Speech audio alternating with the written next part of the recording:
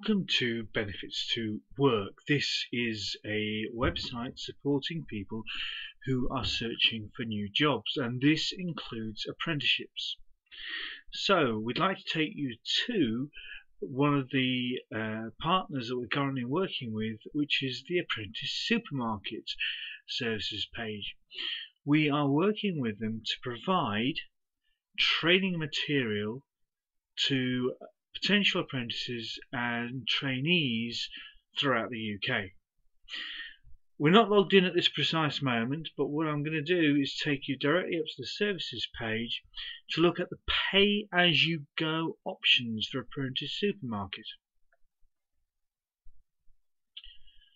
Now the Apprentice Supermarket page allows you to pay to access their course material.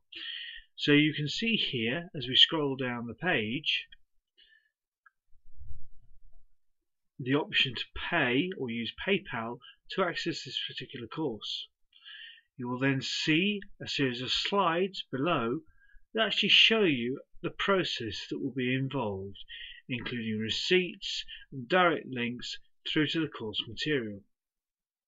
There are other courses available through this particular process. Now you may not be a pay-as-you-go customer. You may in actual fact wish to log on to access more courses that may be available through this particular service.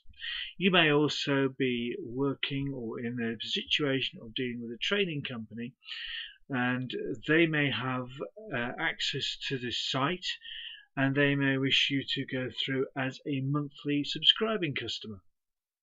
So what we're going to do is show you that particular route.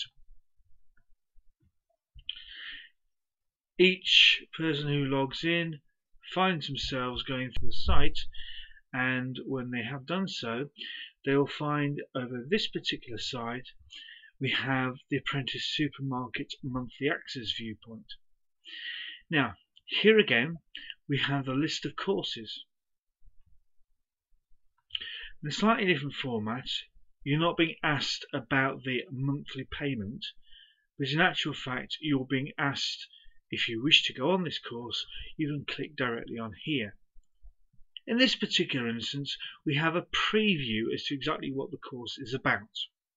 It tells us the structure, the credit value, it even gives us a QCF reference number, so we know it's going to be genuine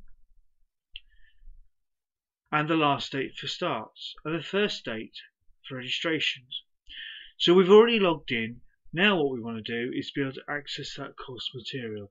And just by the click of a button, we are actually in the course material for that particular course. I'm not going to show you anything more on that particular area, but what I would say is it's worthwhile taking the opportunity of registering with us on our site on that first page our welcome page so that you can actually log in and check out the options for yourself. Thank you very much indeed for taking the time to watch this video.